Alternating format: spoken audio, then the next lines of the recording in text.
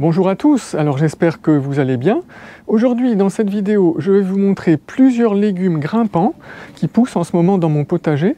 Alors euh, pourquoi en ce moment? Parce que là on est à la fin de l'été, on est début septembre et je trouve que c'est le meilleur moment pour vous montrer ces légumes grimpants parce que c'est le moment où ils sont le plus haut, où ils ont le plus de développement de la saison. Alors on va voir ça ensemble et je vous invite à me suivre. On va commencer avec euh, le haricot grimpant. Alors celui-là, vous voyez, euh, il fait à peu près 2,50 m de haut. Il aimerait bien faire plus là, mais il est stoppé par le, filet d'ombrage qui est à 2,40 m en, en haut des poteaux. Et alors du coup, ben, il s'étale un peu comme il peut en haut, ce qui n'est pas spécialement gênant, mais s'il pouvait, il, aurait bien grimpé plus. Alors c'est une plante qui, fait vraiment un feuillage très très volumineux, et il n'y a pas besoin d'en planter tant que ça. Si on regarde en bas, je vous ferai un gros plan, euh, j'ai planté, on voit il y a 4 ou 5 tiges, hein, pas plus, donc j'ai planté 5 euh, graines. Alors euh, comme d'habitude, je fais tous mes semis en godet, donc là j'ai ces 5 godets que j'ai plantés ici. Euh, à peu près euh, autour de la mi-mai. Alors, c'est pas comme les haricots nains où on peut faire euh, plusieurs séries échelonnées parce que le haricot nain, il pousse beaucoup plus vite. Au bout de deux mois, on peut déjà récolter quelque chose, donc c'est l'avantage de faire plusieurs séries. mais par contre, les haricots à rames, comme ça, les haricots grimpants, ils sont plus longs à, se développer, mais en contrepartie, ils sont aussi plus longs euh, à produire, à, donner des haricots, c'est-à-dire qu'on peut récolter pendant plus longtemps. Euh, donc l'un dans l'autre, on s'y retrouve avec l'avantage qu'au sol, vous voyez, ça, ça n'utilise quasiment pas de surface, hein, c'est même pas un demi-mètre carré, pas plus.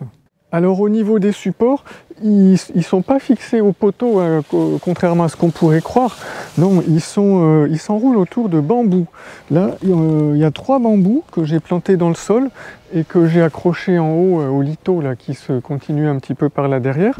Donc trois bambous assez gros, hein, plus gros que le pouce même, un gros comme deux pouces, et euh, que j'ai plantés dans le sol d'une vingtaine de centimètres. Et en fait, les haricots, ils font pas de vrille ils, lancent pas des vrilles qui vont s'agripper à, différents supports. Ils ont les tiges qui vont s'enrouler en fait autour des bambous. C'est pour ça qu'il leur faut un, support qui soit assez gros pour que la tige puisse s'enrouler. Euh, pas trop gros non plus. Par exemple, le poteau, ça serait trop gros. Là, il n'arriverait pas tout seul. Il faudrait sans cesse l'enrouler à la main. C'est toujours faisable. Hein. Et pas trop des ficelles non plus parce que les ficelles c'est trop fin et là il aurait du mal à s'enrouler, c'est franchement trop fin, ça n'irait pas. Alors euh, pour réussir des haricots comme ça, euh, quelles sont les clés du succès? Le haricot, c'est une plante de la famille des légumineuses, hein, des fabacées. Donc ça veut dire que c'est une plante qui n'a pas besoin d'azote dans le sol parce qu'elle le capte elle-même dans l'air. Elle fabrique son propre azote à partir de celui qui est trouvé dans l'air. Donc au niveau fertilité, euh, moi j'ai rien mis du tout. Donc en fait c'est une plante qui se contente des restes de compost de l'année d'avant. Et puis, euh, autre clé de, succès, c'est que comme euh, c'est une plante qui développe un, feuillage vraiment très volumineux, ça veut dire que quand il fait chaud, quand il y a du soleil, eh bien, elle va évaporer énormément d'eau. Et donc, il faut vraiment faire des arrosages très réguliers et euh, très abondants. Alors, le légume grimpant suivant, c'est le concombre. Alors celui-là, il a été planté euh, le 15 juillet. En fait, les concombres, euh, j'en fais plusieurs euh, dans l'année. J'en fais trois séries, en fait, espacées chacune de trois semaines. Donc la première est plantée début mai, ensuite une troisième trois semaines plus tard, trois semaines plus tard, etc. Et ça, c'est la dernière série, donc mi-juillet.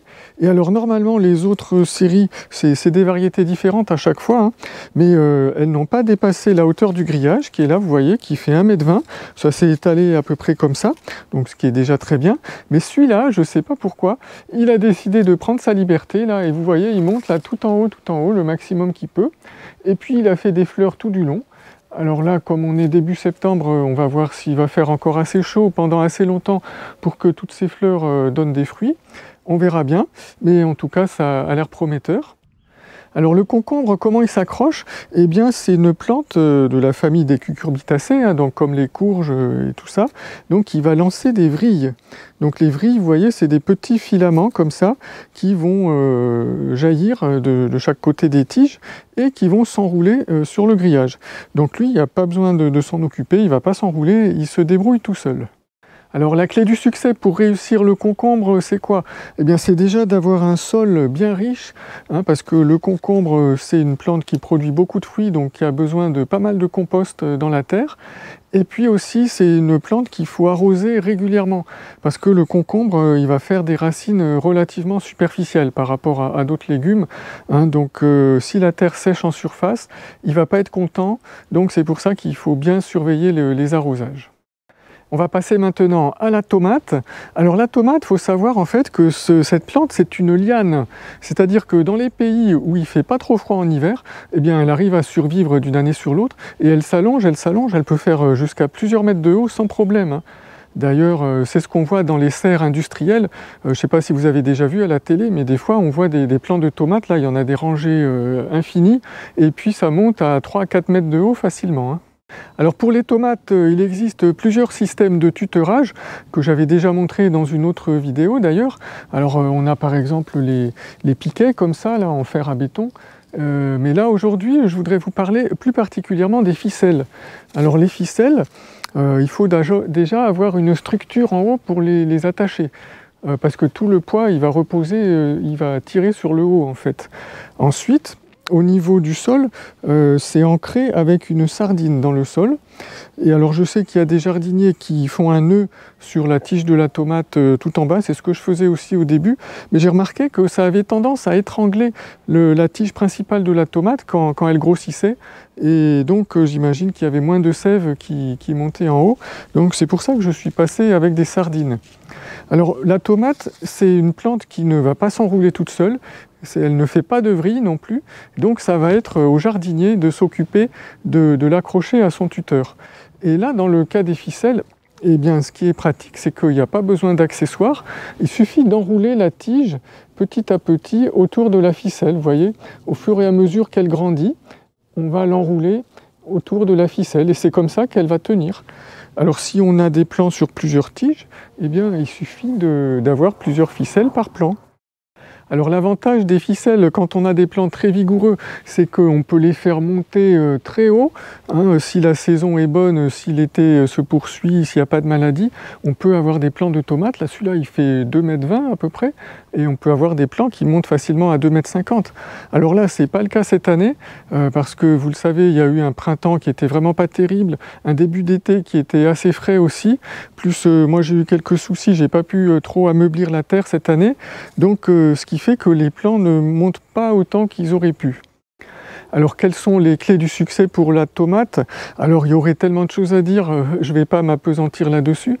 Je vais juste dire par rapport aux ficelles, le mieux j'ai remarqué c'est de tailler ces plants sur soit une seule tige principale, comme ici, ou soit sur deux tiges principales. Mais pas plus que ça, sinon on se retrouve avec trop de, trop de ficelles qui pendent et c'est vite le bazar. Vous voyez là, je suis au pied de la chayotte. Alors la chayotte, euh, c'est une plante qui exige beaucoup de chaleur pour se développer.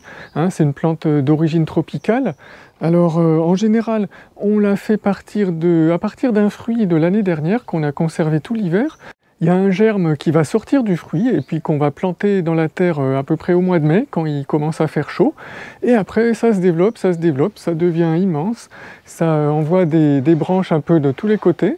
Et puis après, euh, il y a des minuscules fleurs qui apparaissent et puis ça fait des fruits. Alors ça, c'est assez tard dans l'année. En général, c'est autour de début septembre, voire mi-septembre.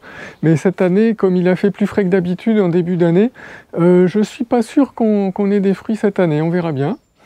Et alors après, à l'automne, une fois qu'on a récolté tous les fruits, eh bien le feuillage va sécher, euh, tout ça va se décomposer, va, se, va disparaître, et il y aura juste la souche qui va rester en terre.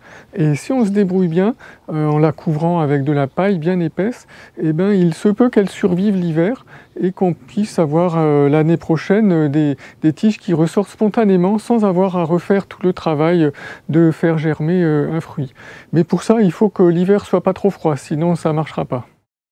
Alors pour terminer, je voulais vous montrer une curiosité, c'est la cyclanthère.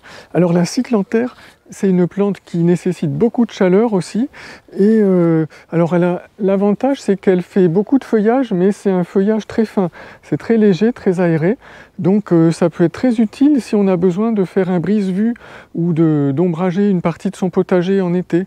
Parce que c'est pas trop épais, ça laisse passer une partie des rayons du soleil et euh, ça reste quand même assez agréable. Alors la cyclanthère, ça produit des petits fruits qu'on peut manger normalement crus ou cuits.